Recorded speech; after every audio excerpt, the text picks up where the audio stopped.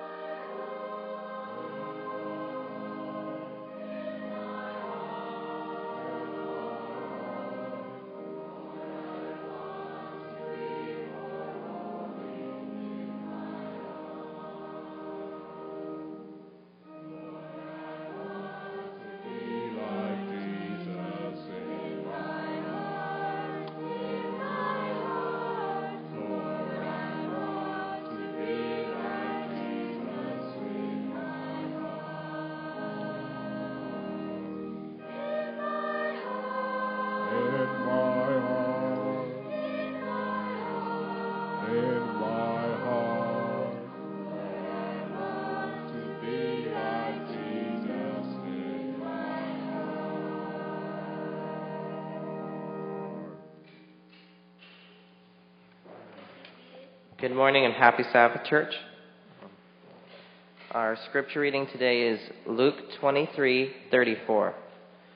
Luke 23:34.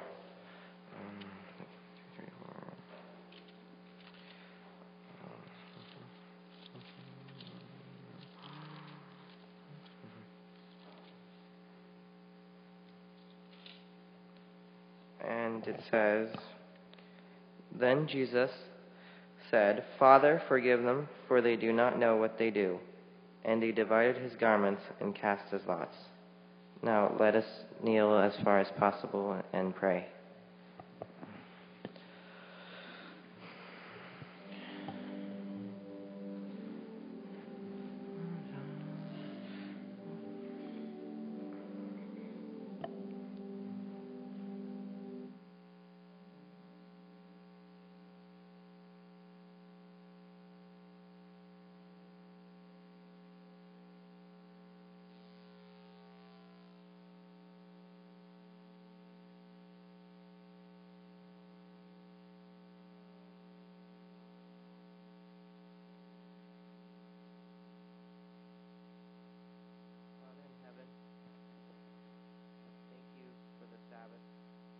That we can worship you together. Please help all who are in need, whether physically, mentally, or spiritually.